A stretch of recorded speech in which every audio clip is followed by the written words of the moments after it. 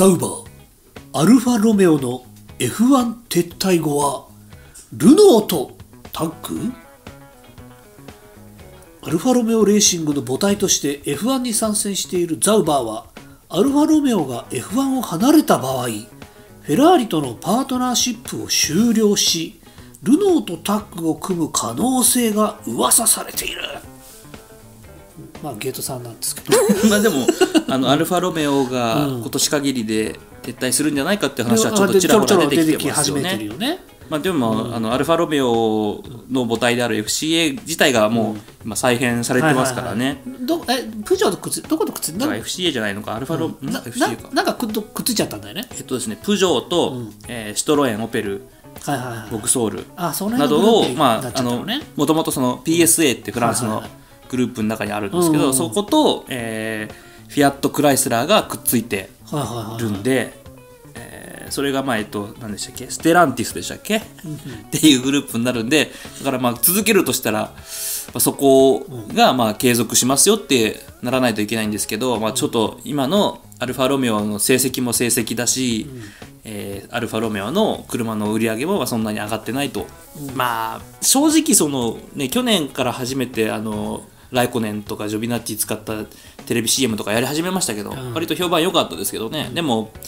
あんまりマーケティングに力入れてるかってそうは見えないんですよね正直。マーケティングにしても広報にしても。なんかフィアットグループで、まあ、お金あるしってなんかお付き合いぐらいに、まあ、イメージで思ってた全然ないんじゃないですか全然車売れてないし。でもこれ F1 撤退って言って別に名前出してるだけでしょ、まあスポンサーですからねただのね。何かやってるわけじゃないでしょ。スポンサーでしょ、スポンサーとして F1 から撤退これでもルノーに仮にルルノールノーってことはアルピーヌとまた関係ないってこと？これあれあの例のギアギアボックスはどうなっちゃう？のちょっと話整理するとだから、うん。えっと、アルファロメオが外れたとしたら、ザウバーとしては、今のまま、フェラーリからパワーユニットとギアボックス継続してもらうためにはもうこれ実費で払うしかなくなるわけですよ。今はアルファロメうん。うん。オのチームとしてやってるから、まあ言ったら実質タダでもらってるわけじゃないですか。けどそれをジョビさんも乗ってるしね、払ってお金払ってうん。買うことになりますよね。言うてに年間二十何億とかかかりますよね。あれ？エンジン代はバジェットキャブ別？バジェットキャップの中に入ってると思いますけど、まあ、その辺どうなるか。あでもあそうかそうか。エンジンじゃあエンジン代取られるとその分開発費が減っちゃうってことだね、もし入ってたらね。まあそこまで多分予算使ってないと思いますけどね。あアルファロメオはうん。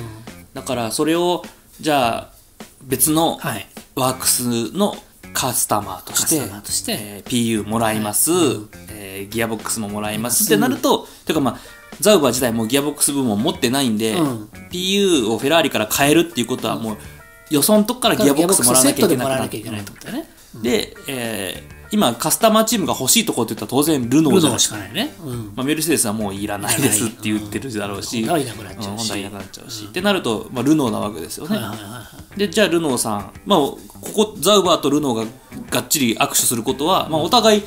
あのウィンウィンだとは思うんですけど、はいはいはいはい。ただまあザウバーはじゃあギアボックスが必要です、でルノーさんがじゃあフランス側じゃなくてイタイギリス側の車体側のエンストンからギアボックス出せるのかどうかですよね。ああそういうことね。つまりこのうんギアボックス余裕があるかどうかってはパワーユニットうんぬんじゃまあ余裕は多分あると思うんですけど、パワーユニットの設計うんぬんよりもこれギアボックスって車体の設計に関わることだから、はいはいはいはい。要するにギアボックスってことはリアサスペンションもセットなわけで。全部セットなのね。これをじゃあ自分とこの車のリア丸ごとうん外部に流出するっていうのが、ルノーとして OK なのかどうかですよね。特にイギリス側として。あの丸ごともらえてないの？みんなカスタマーの人。でもらえてますよだから、うん。うんとかまあ例えば、ギアボックスでもその中身だけ、うん。ギアの本当の列車の部分だけで、外のケーシングは自分のところで作りますっていうチームもありますし、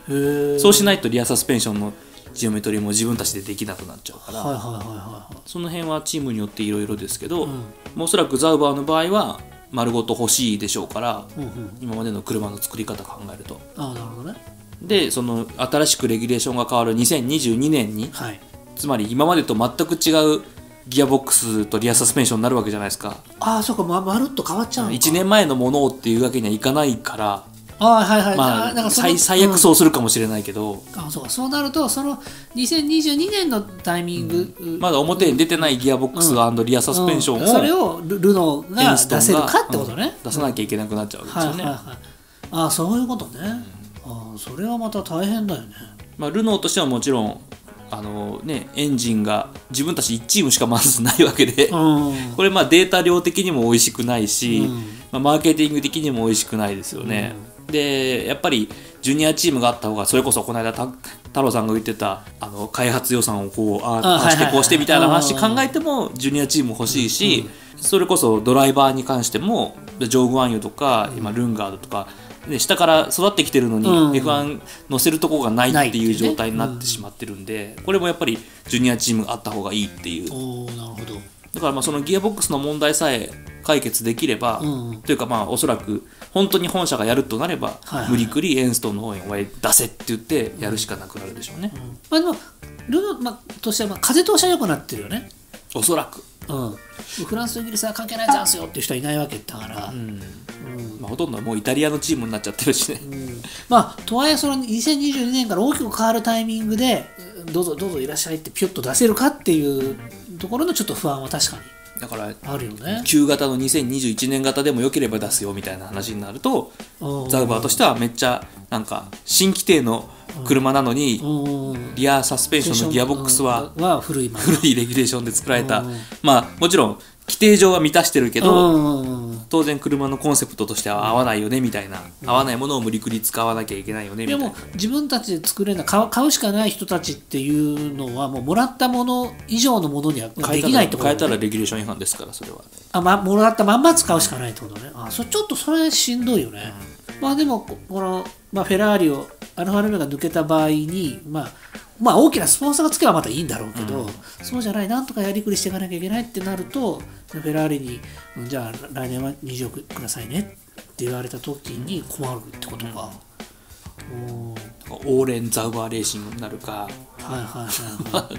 ちょっとルノーの、うん。ジュニアチームになるかみたいなどっちかになっちすよね。フェラーリの若手をさらに2人 シュワちゃんとアイロット乗せてあげたり、まあそそこまででもないんでしょうねきっと フェラーリとしても。うんうんもうねハースがもう完全にジュニア化の道に走っちゃってるから。そうですね。うん、それそうもう2台はいらないってことかいくらなんでも、うんまあ言ってもそう考えると22年だから本当にそのレッドブルにしたってホンダと話がつかなければ4台エンジンなしが出来上がっちゃうってことでしょまあそこはもう話ついてるじゃないですかまあねついてるとは思うけどでもバスルーサでそういうところ上手にやるんですよどうせ、まあでもねお金の問題はやりようがないところもあるでしょうしね。ウィリアムズからメルセデスエンジンかっぱってきちゃうとか。ウィリアムズはウィリアムズです必死にそこは死守するでしょう。まあそれもあるからやっぱりウィリアムズとしても2022年からはギアボックスも買いますっていうふうにますよあそうかちょっとお近づきにね。近づきになってる。うん。まあその方が効率的ですからねはいはいはい。やっぱりねなるほど。だから小さなチームになればなるほどやっぱり PU とギアボックスセットでもらっちゃった方が楽なんでうん。そこにで中途半端に開発予算投じる必要がないからなるほどね。ましてやそれがタダでもらえるんだったらもうこれに越したことはないんですからね、まあ確かに。ねこうルノーもチームとしてもうチーム力がねだんだんだんだん上がってきてるところだし、まあ、体制もアルピーヌになってこう変わりバスズルさん的にはここは一発ちょっとルノーを引っ張ってきてもいい。自分たちのチーム力ってことを考えた時に、うん、フェラーリにしがみつくよりはだってのび太くんのフェラーリにしがみつくよりはそれはだってルノーの方がいいでしょ。なんかまあ将来性はありそうな気がすねるし、将来将来性は。まあお同じフランス人だから、まあ、その辺やりやすいところはあるんでしょうね。あーなるほどね。ちょっとザウバーとルノーっていうのは今まで全く関係がないからあ、そうか、ずちょっと変なーっと感じフェラーリ使ってきてたんだっけ？フェラーリってメルセデス。ですからね。うん。あ、そうか。メルセデスフェラーリ BM フそうか、ザウバーともともと耐久レースからそのまま来たような感じでやってたんだもんね。そうそう、メルセデスだ、最初は。まあ、ちょっとザウバーもねスイスのチームでちょっと一癖も二癖もあるチーム人たちなんでああ、なるほどね。ここがまあフランスの一癖ある二人たちとうまくつながるのかどうかは分かんないですけど、うん。ただまあこれ幸いとイタリア化が進んでるわけでしょ、うん。うん。じゃあイタリアからイタリア変わっても一緒じゃん。なるほどね。だからあれじゃない？だから若手のだからジョージョーさんとか張さんか。ジョーさんか。謎にもう完全に混乱させられてるじゃないですか。ジョー・グワンジョー・ワンユーさんとかえっとあと誰ルンガーさん、うん、ルンガーさんとかのまあその持ち込み具合とか、うん、その上上がりたいからちょっともうこんだけ用意するからなんとかしてえなって、まあまあその辺の兼ね合いも出てくるんだろうね、そうするとルーナとしてもねののちょっと乗せるためにはカスタマー作んなきゃいけないからっていうのでちょっと歩み寄った話し合いがされる可能性は、まあ、なないなきにしもなきにしもななきにしもなきにしもならずまあまあでもそれぐらいしか想像つかないもんね。っていう記事だよこれねだからね。想像してみた。っていうまあでも事実としてあるのはアルファロメオがちょっともう手引きそうだよねっていう感じはもう実際、まあ、逆に言うと、もうここ数年なんで続けてんのぐらいのレベルですからね、はいはいはい。まあ何でも戻ってきたっていうね そもそもね。そこからまあね一瞬は力入れてフェラーリががっつり力入れて、なんかよくしようとしてる風に見えたけど、ここ数年なんかやる気ない。ああそうなんか自動車メーカーの名前冠してる割にはなんかすごい、そうだよねもう低空でいいやみたいになってるから。かそうするとだからミック選手がハウスに行っちゃったっていうところぐらいの話が全部こう点が線になってい ということはやっぱジョビさんは今年まで？わかんない。フェラーリに乗ってるかもしれないですだからら多分来光寺はもうあれでしょ？もう来光寺がもうキングカスと一緒でしょ？もうやりたいっていう限り乗ってくださいっていう感じなんでしょ？ザウバーがお金出すんでっていう、うん。そうするとそのセカンドドライバーが誰になるかによってパワーユニットが見えてくる、うん。うん、ってことだね、じゃあちょっとだからジョー・まあ、バライライライコネンも中国で大人気ですから。じゃあおおじゃあいいライコネンとジョー・ワンユーだったらすごいんじゃないですか、中国で人気が。ライコネオマージュのヘルメットを買ってますねジョーさんが。